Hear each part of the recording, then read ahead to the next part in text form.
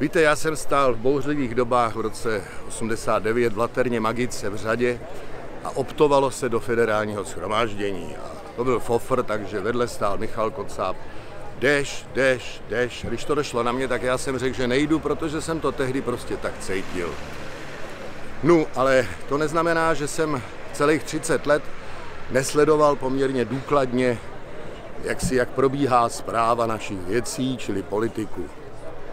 No a chorobně ambiciózní moci žrouti, jak já říkám, kteří s náma manipulují pomocí marketingového inženýrství a hrajou si s našimi strachy a nejnižšími pudy, tak to je něco, co mě pochopitelně se nelíbí.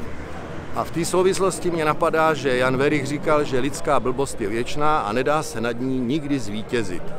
Ale musí se s ní neustále bojovat, protože jinak zahltí celý svět. No a já myslím, že tady je taková paralela, že s těmito tendencemi moci žroutů, která je zřejmě věčná, protože to je z lidský, vyvěrá z lidské přirozenosti. Je potřeba neustále bojovat. Jan Verich říkal, že proti lidské blbosti se dá bojovat humorem. Já říkám ano, humorem, nadhledem a zdravým selským rozumem, ale hlavně proti těmhle pokusům a tendencím moci žroutu je třeba bojovat neustálým prosazováním základních principů liberální demokracie. A to v celém veřejném prostoru.